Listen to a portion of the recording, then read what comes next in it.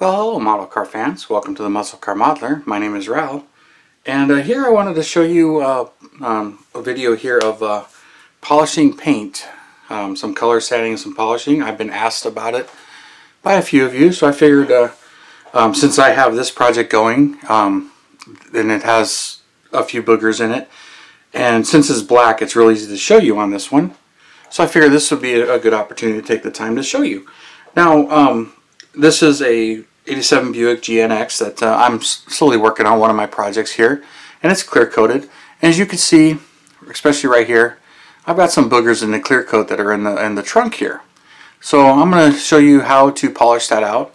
Um, roof is pretty good. There's a little bit of haze from just handling and cleaning and uh, some of the detail work I've been doing to it. So this thing's been getting worked on and polished and are, are detailed and getting ready. I'm almost ready to start gluing the windows and stuff in but I've kind of held off and was waiting to show you how to do this and uh, some of the things that you're going to need to do it. So I've got some um, micro mesh polishing pads here. Here's the, the charts. But I generally start at 4,000. So here's the 4,000 grit teal. This is 6,000, 8,000, and then 12,000. Um, so those are the polishing pads. And I've got a little bit of water here with Dawn soap in it. I prefer to use Dawn soap because it doesn't have any uh, conditioners or hand lotions in it. Palmolive does. Um, so that, that kind of helps. And uh, I'll actually toss that in right now and get it to start soaking a little bit. Uh, it doesn't take much on these. I got a microfiber polish cloth here. I've got a regular um, towel here for uh, wiping. And then here's uh, some Tamiya polishing compounds the coarse, the fine, and the finish polish. Um, these are great, and then I use them with the microfiber, but that's to finish it up. So that's the, the finishing stages. If you And I may not even use coarse on this one. I may just use fine and finish, because um, at 12,000 grit, the last grit on this um, takes out quite a bit. And then the last thing I got here is some masking tape. The main reason for the masking tape is, like, I'm not really going to do this whole car you know, like when you look, I got a couple of spots on the hood I may deal with, um, but not very many. They're very, very mild, but black really shows everything. So that's why um, I'm doing this one. But on the trunk, I got it really good right there. So hopefully the camera's picking that up and you can see that. But the, the main reason for the masking tape here is to protect the areas that I'm working. So I'll tear off some masking tape and I'm actually going to tear it in little strips here because I'm going to cover the hinge right here and then I'm going to cover the spoiler. Any of the lips basically I don't want it getting caught on and I'm going to fold this over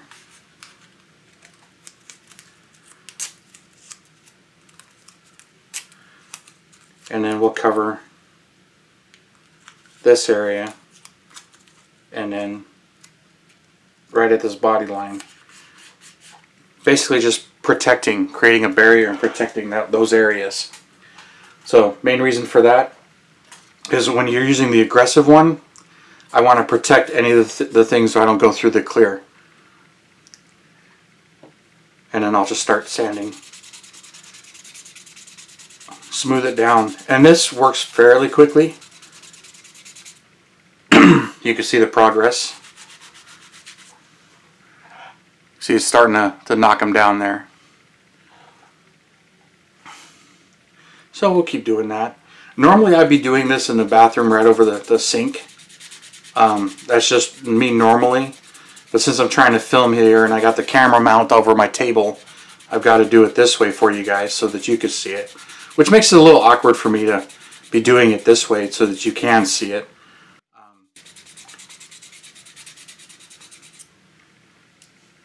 and if you get any, the colors start coming off, that tells you right away that you went through the clear. It should be, you know, transparent or maybe even a little white. You can see they're starting to knock down there.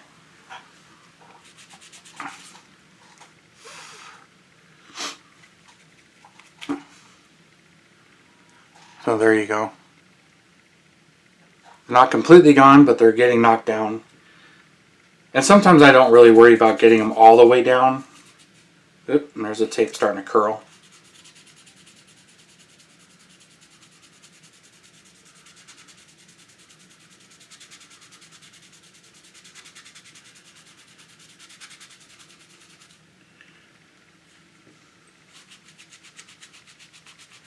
And keep drying your work and checking, seeing how you're doing, where you're at.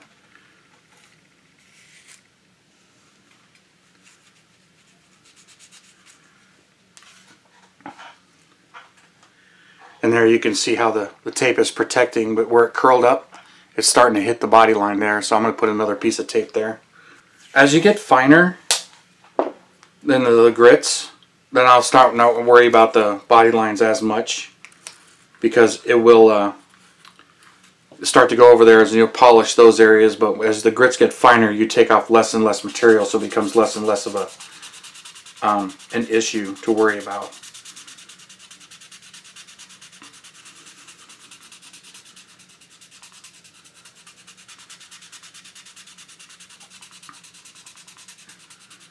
And this trunk area is pretty got got some pretty big ones, which is why I'm doing it on this one. Like sometimes I don't do it. I may not hit all of them. I may polish a little bit of them out.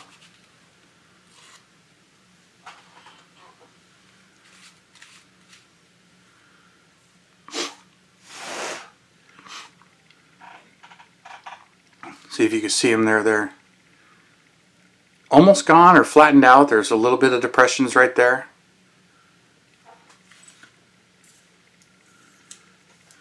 Now I think I'll move on to one of the other ones here. Let's get them all wet. And you don't have to spend a whole lot of time on this because it, it'll improve fairly quickly.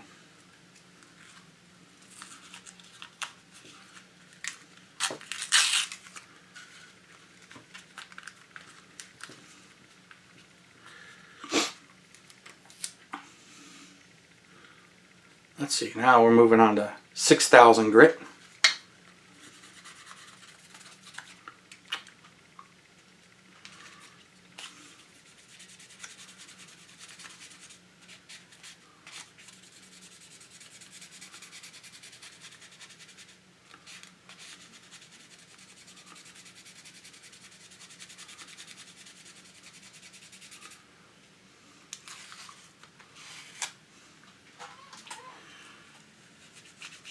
And the water and soap starts to get under the tape and makes it harder to stick.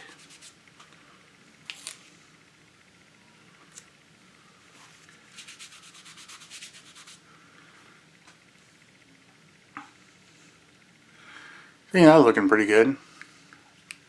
Get it up there close and you still kind of see the rings, but she's not bad. Alright, let's do some, let's see. Royal Blue is 8,000 grit.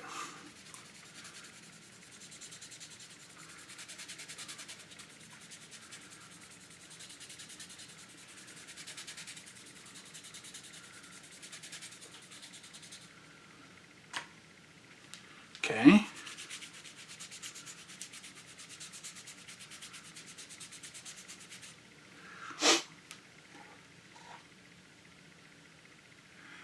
See the dullness is starting to come off. And you can see where it's hitting the, the body lines there. So I'm going to pull this off and this off.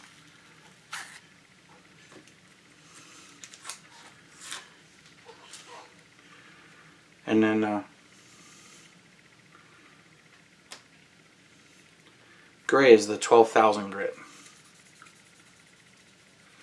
And then having the soap in here kind of keeps the sandpaper cleaner and it also helps uh, um, lubricate the area you're sanding, less chance of gouging. So there's a small amount of Dawn soap in there. And I go a little over more of the area when I do that.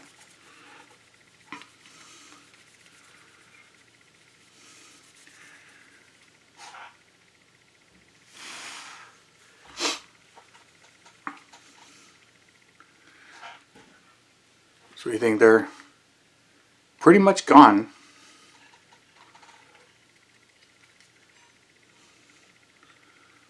Doing. And then I'll, I'll do a little bit of circling motions, sanding motions. I don't put a whole lot of pressure on there, just let the sandpaper do its work. Just make sure it's flat on there, but I don't put a whole lot of pressure.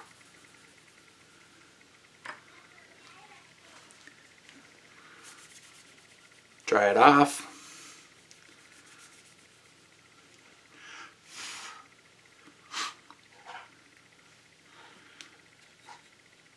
You can see it right there. And it's not 100% perfect, but you can go over and keep polishing the whole car if you want. Um, but they're definitely knocked down and they're definitely a lot better.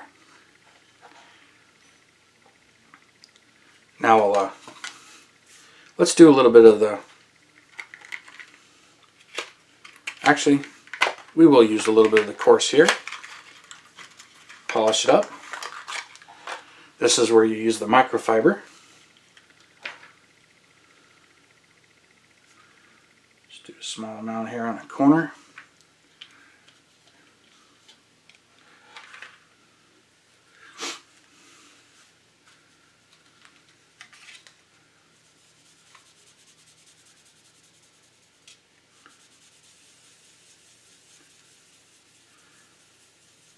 and again in a swirling motion.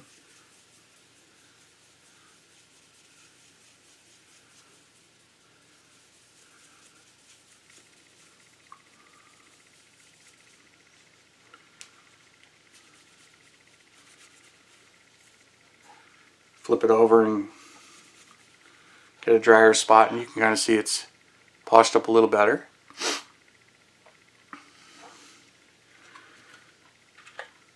This step could take a couple of applications as well.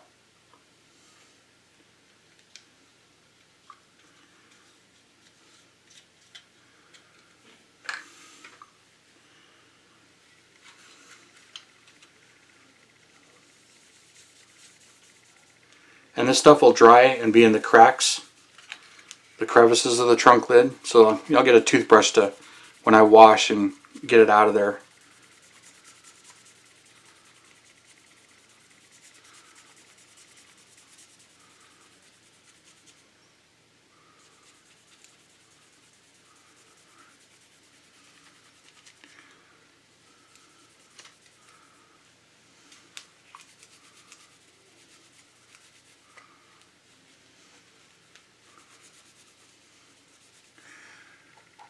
That's really starting to go away.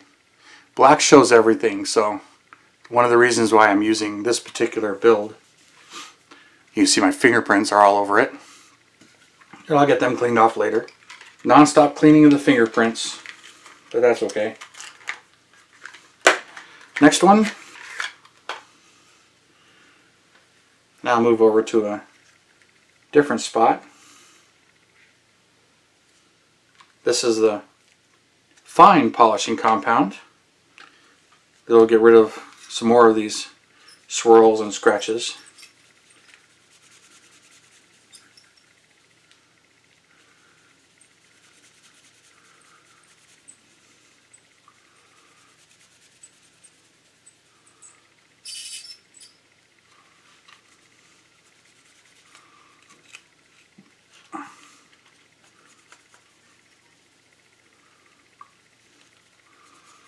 I get a little nervous when doing something like this while the body's flexing in your hands. I really don't want this wheel flare to break off because it's glued on and painted. So be gentle with it.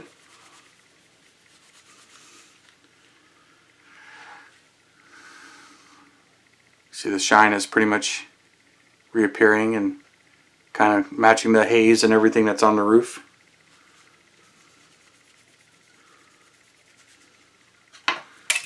Oops. And let's do one more.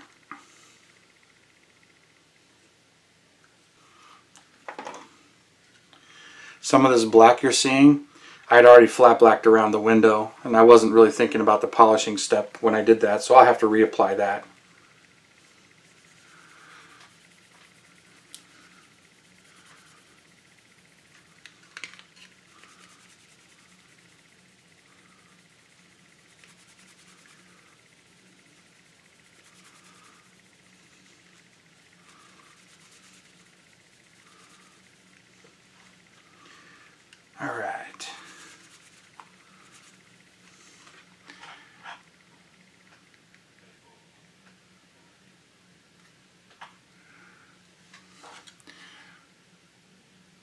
So she's starting to look really good. And I did this to the, the trunk and the roof of that uh, 69 uh, Baldwin Motion, not Baldwin Motion, the 69 uh, Yenko uh, Chevelle. Because I had some boogers in the trunk of that one as well. And I did a couple on the roof, so I had to polish that on that one too. So this is this is exactly what I did, same steps, except for now I'm showing you. And uh, black shows everything, so this is going to show everything. It's really hard to polish black.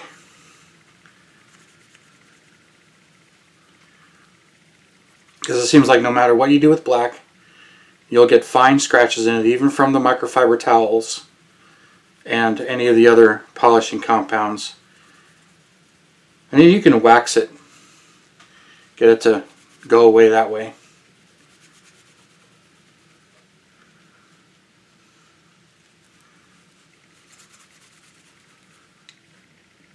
Alright, so there's a little bit of the fine, the finished compound. Let's do a little bit more. Get another spot here.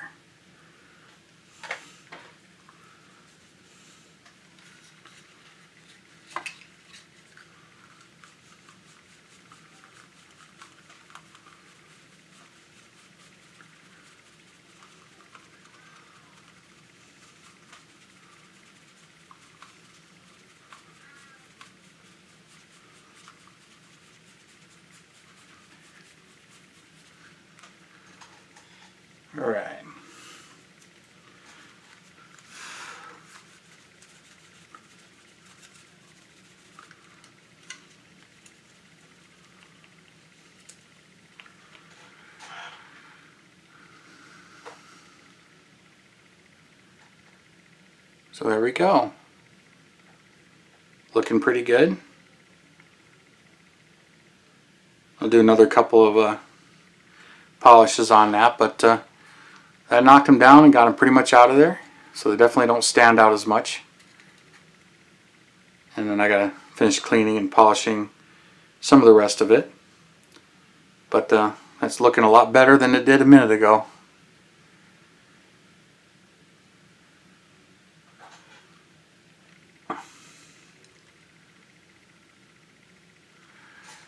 But that gives you an idea in the steps and take your time and I rushed a little bit in between them here for time restraints here. I'm just squeezing it all in. But uh, you take your time and go between each steps and you'll get it uh, polished out even better. But uh, she's looking pretty good. I've got a couple more areas. I've actually got one right here that you can see. I gotta take care of that one. And then there's a couple right here. Clean off the body here.